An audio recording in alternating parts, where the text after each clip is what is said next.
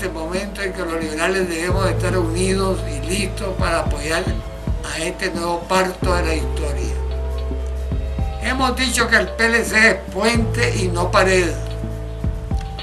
Constitucionalista y amante del Estado de Derecho propugnamos por la justicia social, una economía justa y una renta que priorice a los más pobres y a los más abandonados.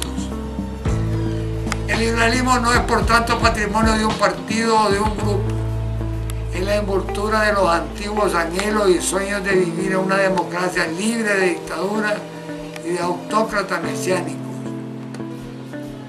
Como tercer punto necesario es la comunicación. Un partido sin contacto con el pueblo es una simple cúpula sin futuro.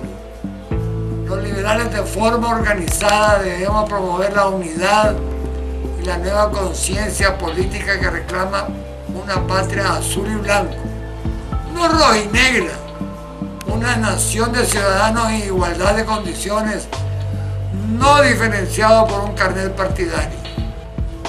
Pero todo esto, si no existe dentro de, dentro de nosotros mismos la unidad interna, no hemos ganado nada. Ninguno de los planes del liberalismo podrán funcionar sin unidad interna.